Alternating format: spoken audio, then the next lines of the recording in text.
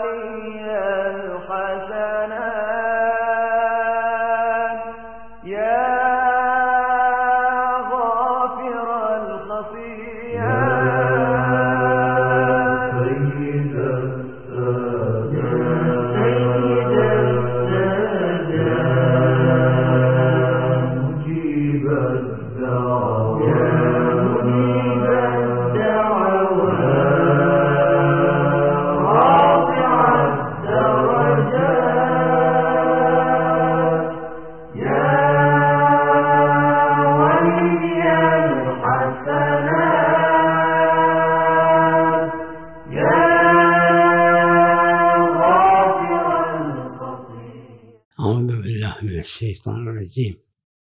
بسم الله الرحمن الرحيم. سری دليل روایات أهل بيت لباس اکثر میں عنوان ہوتے ہیں اور عمله السفر و عمله السفر. یہ دو الگ الگ ایک انسان ہے جس کا کام سفر کرنا ہے. مسافر ہے. کبھی کبھی ایسا ہوتا نہیں اس کا کام اس کا کام سفر کرنا نہیں لیکن اس کا سفر مقدمہ ہے۔ کام کے لیے مثلا اس کا کام جو ہے کسی اور شہر میں ہے لیکن وہ اس شہر سے دوسرے شہر سفر کر کے جاتا ہے تو یہ سفر بہرحال اپنے کام سے مربوط خود اس کا کام سفر کرنا لہذا وہ سفر کرتا ہے اپنے کام کی جگہ پہنچنے کے لیے۔ اس عنوان کو فقہا نے کہا کثیر السفر.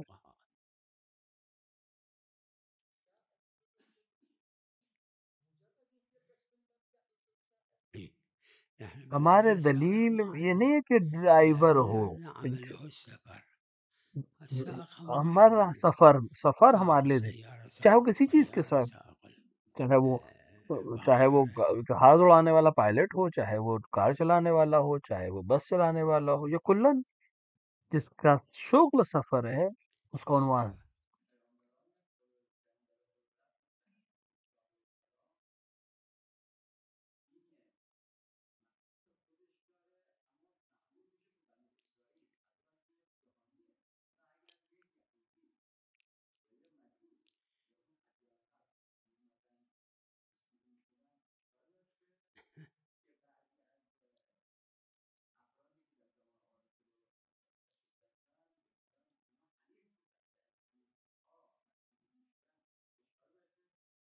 دیکھیں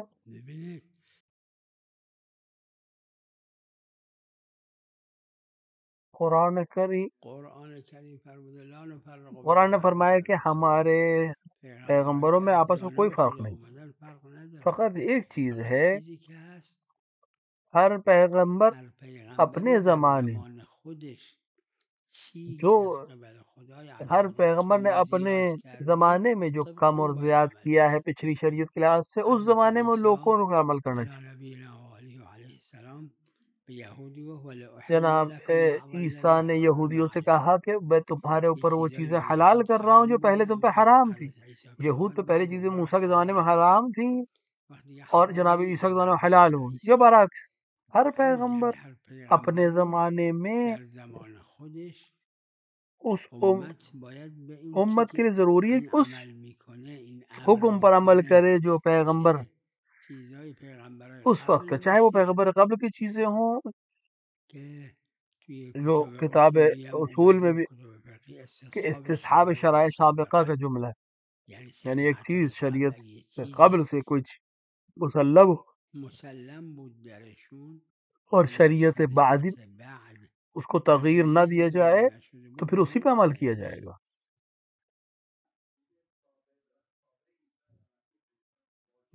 بالکل۔ کیونکہ اب جب جناب عیسیٰ آ گئے تو اب جناب تبعیت کی طرح ہو گئے۔ پر اب ضرورت ہے جو موسیٰ کی کے لیے کام کر رہے تھے وہ اب عیسیٰ کے حکم پر عمل کریں۔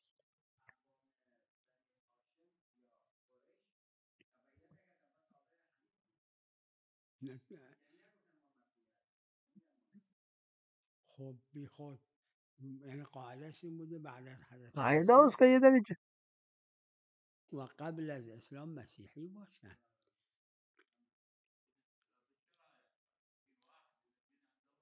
ای. ای. صحیح. لیکن لیکن اسلام الاسلام ہر زمن کے زمانے میں ایک الگ طریق اسلام. مطلب تسلیم. تسلیم تس مسلمان یعنی کیا؟ یعنی یعنی اللہ کے یعنی لیے تسلیم ہو۔ اللہ نے جناب موسیٰ کو موسیٰ کے زمانے میں اللہ نبی علیہ السلام۔ بعض چیزوں کا حرام کیا۔ امت موسیٰ پہ یہود پر اور جناب عیسیٰ میں ان چیزوں کو حلال کر دیا۔ ولأحل لكم بعض الذي حرم عليكم۔ جیسے جناب موسیٰ کی تحریمات و حرمت حجت ہے۔ جناب عیسیٰ کا حلال کرنا کسی شے کا یا ان کے زمانے میں حلال ہونا وہ بھی حجت ہے۔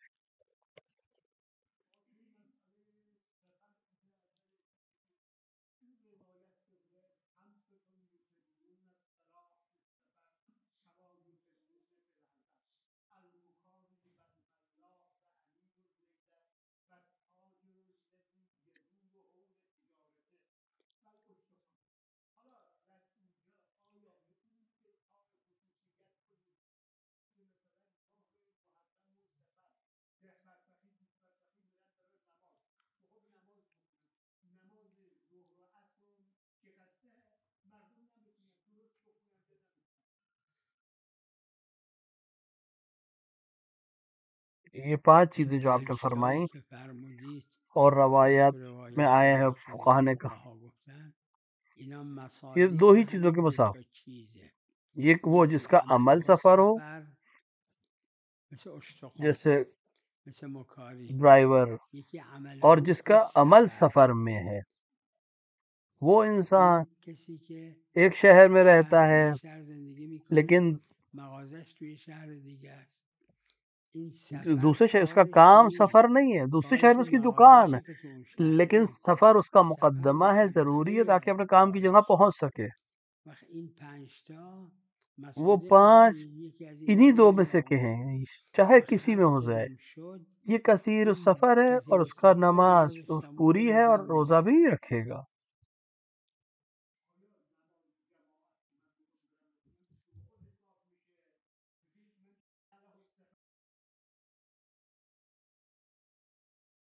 نہیں نه شغل ہو شغل سفر سفر وہ مبلغ ہے ہر ہفتے تبلیغ کے لیے ان عمل فی کی بات ہے۔ اس کا سفر شغل نہیں سفر لیکن کام اس کا اس شخص پر اس جگہ میں اس کے مقدمے میں سفر ہے۔ لہذا وہاں پہنچنے کے سفر لیے سفر کرنا۔ تو عمل فی السفر ہے۔ ہاں نماز اس کی پوری ہے۔ اگر ایک جگہ دس دن نہیں رکتا ہاں نماز ضروری ہے نماز پوری پڑھے اگر دس دس دن ایک جگہ نہیں رہتا ہے تو شہر میں بھی دس دن نہیں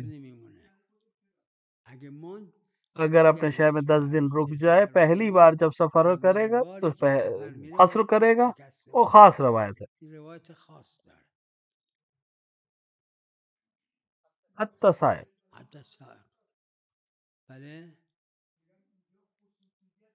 نہیں۔ یہ پانچ خاص نہیں ہیں یہ انہی دو میں سے مصادیق. ہیں یا یا عمل ہو فی السفر یا یا عمل ہو فی فی ہے. یعنی سفر ہی اس از کا عمل ہے یا عمل کے لیے سفر کرتا ہے؟ جیسے جو آدمی جہاز اڑاتا ہے یا جہاز کشتی چلاتا ہے یا گاڑی چلاتا ہے اه، ٹرین چلاتا ہے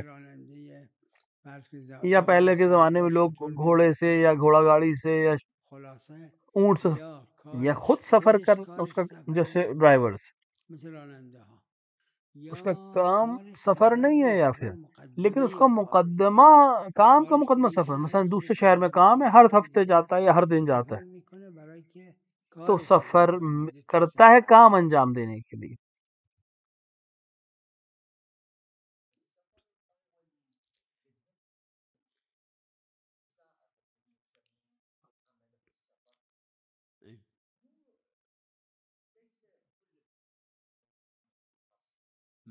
نہیں میں نے نہیں دیکھا کہ کون تمام سفر پہلے سفر میں سبھی کہتے ہیں۔ سب یہ کہتے ہیں کہ پہلے سفر میں قصر کرے گا۔ اگر دس دن اپنے گھر میں رک جائے ولو سائق ہے ولو کثیر السفر ہے۔ اگر اگر دس دن رک بھی جائے کسی جگہ تو پہلا سفر جو بھی کرے گا وہ قصر کرے گا۔ تو روایت خاص ہے۔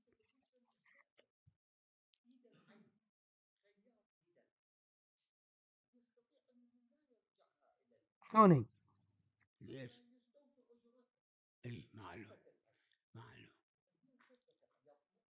کیوں نہیں اگر کسی چیز کو حق کے ذریعے حبس کر دیا تو نہیں؟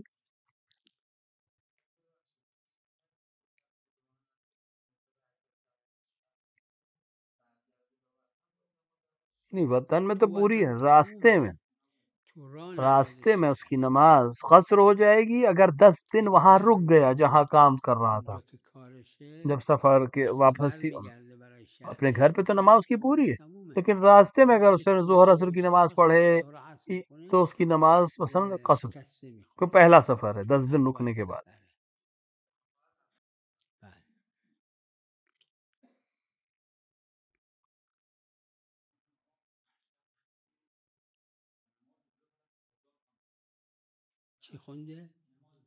ہاں۔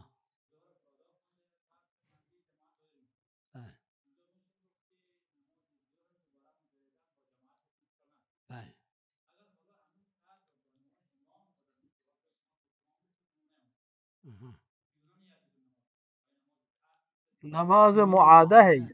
کوئی اشکال نہیں۔ البتہ اختلافی ہے۔ بعض۔ میرے جماعت چار قسم یہ قسم میرا نظریہ بھی یہی ہے کہ اس کا پھر سے اعادہ کر سکتا ہے نماز کا کوئی حق بعض نے اشکال کیا ہے لیکن ایک شخص نے فرادہ پہلے مثلاً شخص نے پہلے فرادہ نماز پڑھی اور بعد میں جماعت شروع ہوگی۔ چاہتا ہے کہ نماز جماعت کا ثواب لے لے۔ ہم نماز اعادہ کریں۔ لیکن اگر جماعت پڑھ چکا ہے پھر سے کہتا ہے جماعت کو پڑھنا چاہے۔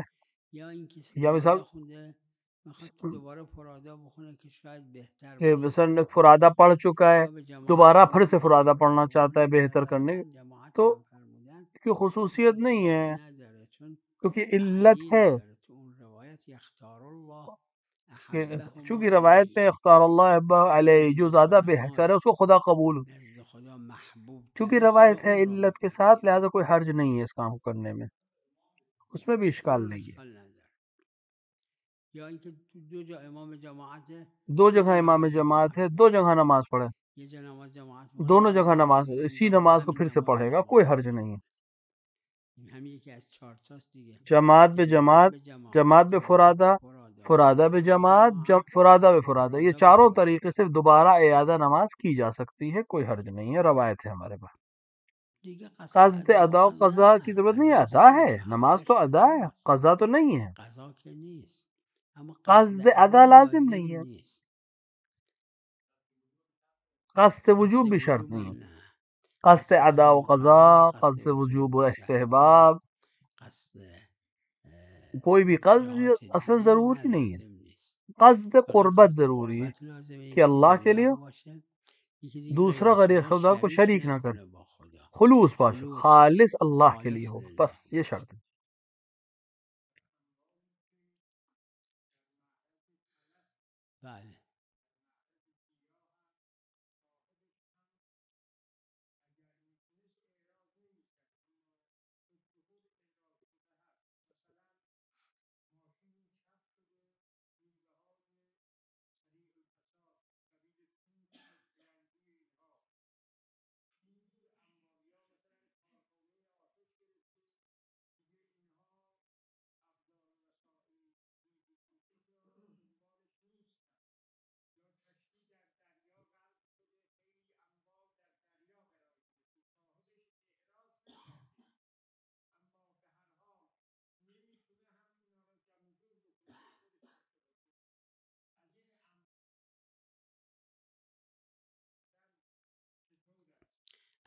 اگر اس کے صاحب نے مالک نے اعراض نہیں ابھی مالیت رکھتی ہے وہ چیز تو اسی اسی شخص کا مال ہے۔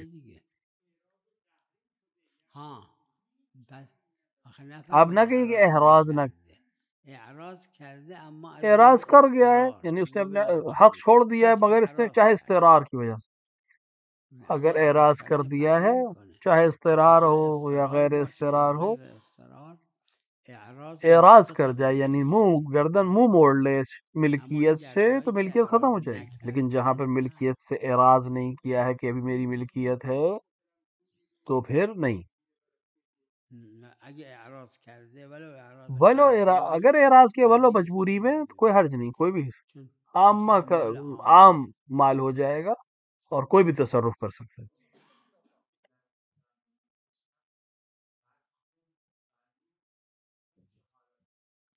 نجس ہے خون نجس ہے۔ بیل اس کو نگلنا جائز نہیں اور اس کے لب جو ہیں اور جو ظاہر کا حصہ ہے وہ بھی نجس ہے۔ اس کو ایک بار کلی کر لینا یا پاک کر لینا کافی ہے۔ وہ جو بغیر اختیار کے چلا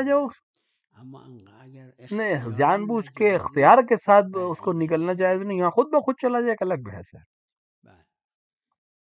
بله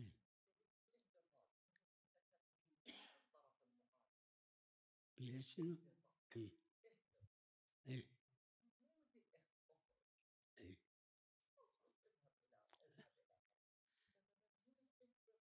اهبط یعنی انزل انزل کے معنی میں ہے احبت یعنی انزل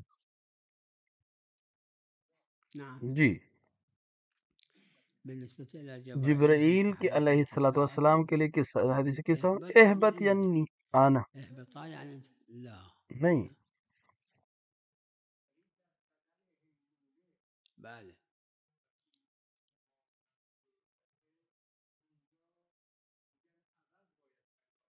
بله اگر اعراض اگر اعراض ہو جائے اور مجبوری میں ہو تو معلوم ہو جائے قہر اگر ہاں۔ اگر اعراض کر جائے تو سب ملکیت ختم ہو جائے گی۔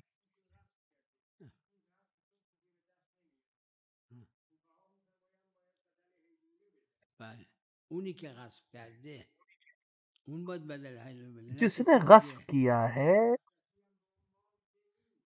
اس کو بدل دینے کی ضرورت ہے اس کو نسبت غاصبه نه نسبت کسی دیگه یہ غاصب کی نسبت میں کسی اور کے لیے نہیں ہے۔ أجا مسلية مسلية أجا قيمية قيمية. اگر مثلی چیز ہے تو مثل مثل دے گا اور قیمت کی چیز ہے تو قیمت ادا کرے گا۔ لا الزوجان ما لهم حق ولا ما له. نہیں۔ إذا إذا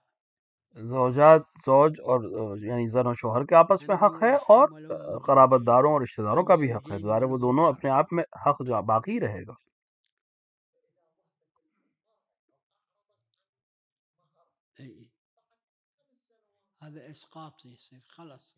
حتى لو دقيقة بعد ما يفيد. ما له حق لأن إسقاط الحق صار.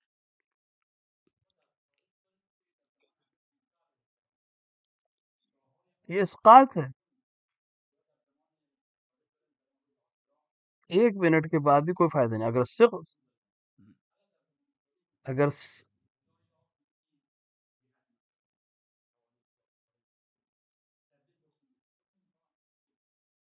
خون که نجس نی خون حیوان جهنده نجسه، حتی خون ماهی که نجس نی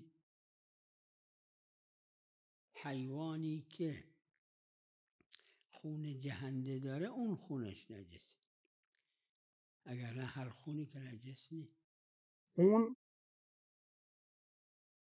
خون اپنے آپ میں نجس نہیں ہے؟ خون خون چہندہ جانور کا خون نجس ہے. انسان یا حیوان جس کا خون چہندہ اس کا نجس ہے. حتی مچھلی کا خون بھی نجس. خودش وہ نجس. جانور ہے جو خون جہندہ رکھتا ہو یعنی اچھل کر نکلنے والا خون گرمائش کے ساتھ وہ نجس ہے۔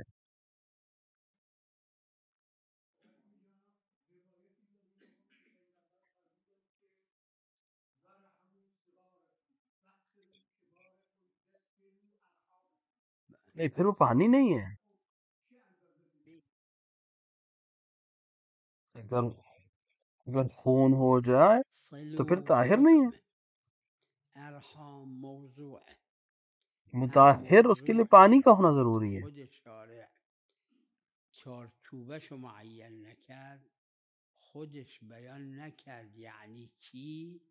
از عرف می‌گیرن رحم یعنی کسایی که با هم از یک رحم بیرون اومدن. یعنی مادر بزرگ این مادر بزرگ این ذریهش اولادش نوهاش نتیجه هاش اینا ارحامن. چون از یه رحم سلو بیرون موضوع ہے۔ ارحامن ہر وہ موضوع جس کو شاعر نے خود معین نہ کی ہو اس کی باؤنڈری کو خود بیان کیا یعنی مطلب اس کا مطلب کیا اس کو عرف سے پوچھا جائے گا۔ رحم یعنی ایک وہ ایک رحم سے رشتہ داری یعنی دادی ایک ہو دادی ایک ہے یا مثلا ماں یعنی ایک ہے ان کی اولادیں سب حضرت یہ ارحام ہو جائیں گی۔ کیونکہ ایک رحم سے ہیں۔ 20 واسطه بیشتر فاصله یہ ارحام ہو گئے۔ میتونن بگن حضرت معصومه رحم ماست چون حضرت معصومه بزرگ هستن اما اگر جہاں پر بھی عرفن صدق کرے کہ کردم ارحام ہیں۔ پسر عمه پسر دایی دختر خاله دختر عموی نمیدونم این اینا رو دیگه فرض بعد کوئی رشتہ داری ہے تو شاید رحم نہیں مگر یہ کہ وہ کسی وجہ سے اہمیت رکھتا ہو. مثلا سادات حضرت معصومہ سلام اللہ علیہ سے بیس واسطے زیادہ فاصلہ ہے۔ جایی که لیکن لیکن کہہ سکتے ہیں کہ جناب معصومہ ہماری لے بزرگ ہیں اور ہمارے رحم ان سے رحم کا تعلق رکھتے ہیں۔ لیکن اگر ایسا ہو کہ دس واسطے ہو جائیں بیچ میں اس طرح کی رشتہ داریاں کہ ان کے خالہ کے بھائی کے بھتیجے کے بھانجے اس طرح سے بہت نکرده یہ نہیں عرف جسے رحم کہے ہم اسے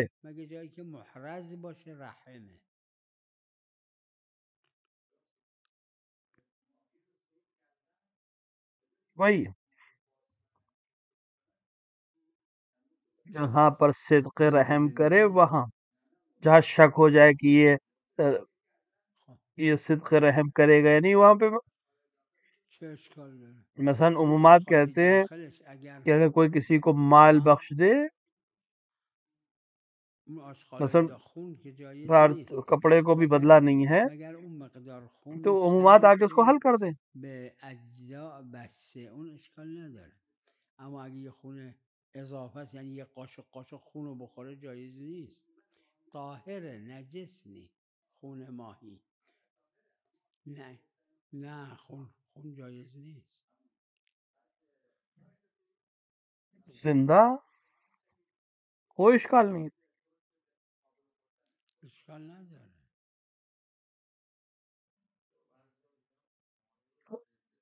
خون کو جائز نہیں ہے ماهی رو باید بندازن خودش خاک جون بکنه لیکن وہ اس حد تک خون جو اجزا جسم کے حصوں میں ہوتا وہ بله ہاں اگر کوئی ساتھ خون لے اور ایک ایک طاہر ہے نجس نہیں ہے لیکن کھانا جائز نہیں ہے اس کا۔ خون جائز نہیں ہے مچھلی کا۔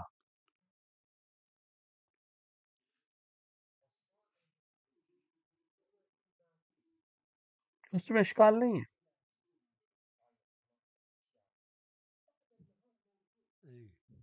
مکرو ہے ای ماہی کو یعنی مچھلی کو اس طرح چھوڑ دینا چاہیے کہ یہاں تک کہ وہ ختم ہو جائے۔ مکرو ہے کہ اس کا سر الگ کیا جائے۔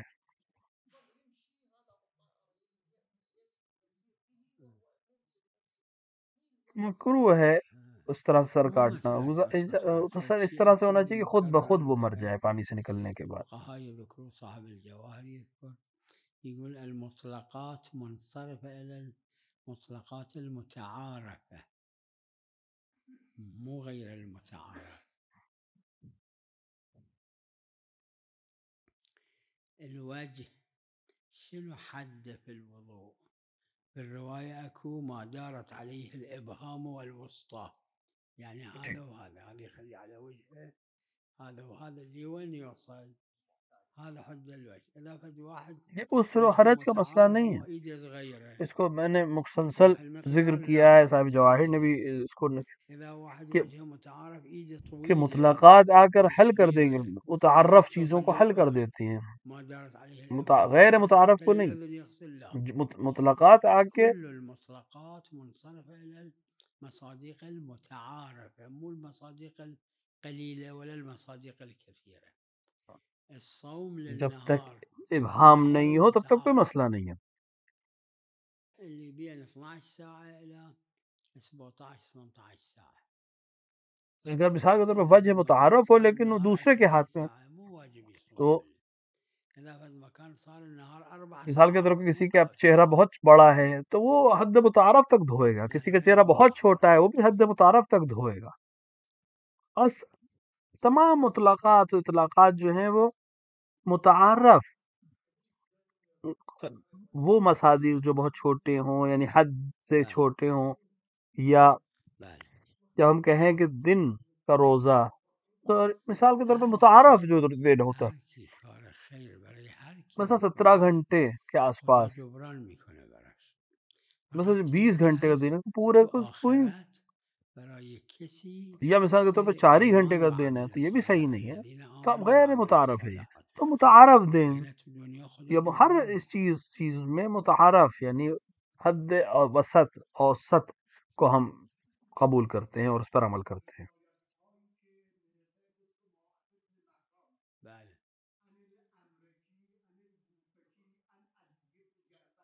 ہر جس نے بھی کار خیر کیا کسی خدا اس کو عوض دے گا۔ و فقط ایک چیز کہ آخرت میں اس کے لیے جس الذین عملوا وعملوا الصالحات کا مسئلہ ہے وہ آخرت اس کو لیکن دنیا میں اس کو دے دے گا۔ جس نے کسی کے لیے بھی خیر خیر کیا دنیا میں ضرور اس کا عوض اس کو دے گا۔ میگن بله بله.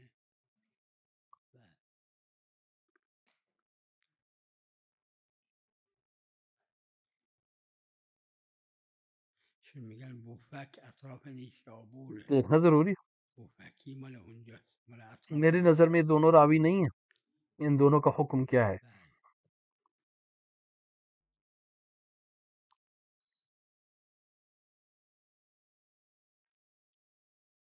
یہ کہہ رہے ہیں کہ صحیح ہے روایت۔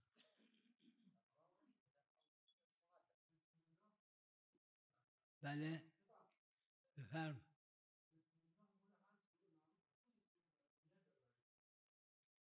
سوره بسم دیگه.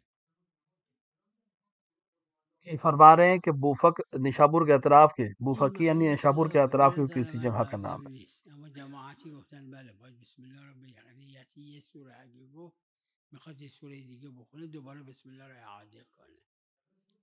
به نظر من نه لازم نی اعاده ہر نہیں ہر سورے کا بسم اللہ اس کا اپنا حصہ ہے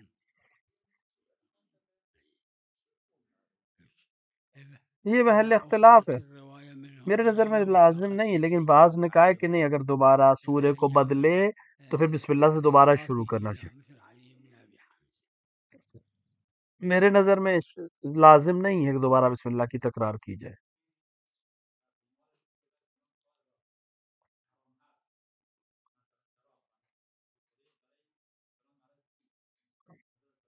اگر اس کی سقہ کے زمانے کے ہم نے وساقت کے زمانے کی روایت کو لیا ہے تو ہمارے لیے کافی ہے۔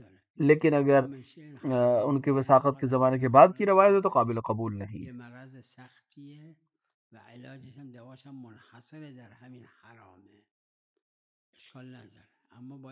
اگر یہ منحصر ہو تو پھر اشکال نہیں ہے۔ ہر اگر کوئی سخت مریض ہے اور اس سے اس کا علاج اسی حرام میں منحصر ہے۔ تو الگ مسئلہ۔ اگر محرز ہوئے تو الگ۔ جس حد تک مقدر ہو اسی حد تک۔